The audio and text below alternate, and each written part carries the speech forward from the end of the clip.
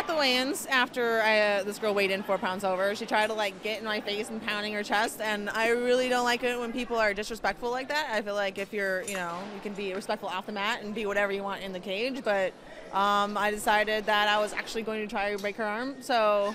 I love this girl. Usually I let people try to tap, you know, so um, I think it came in, it was like jab, right, hook, then a clinch, then I did like a kouchi, which is like an inside sweep, fell on her, and then I was in the mount, and I was hitting it for the mount. When she turned down, I went straight to the armbar, and then that was it.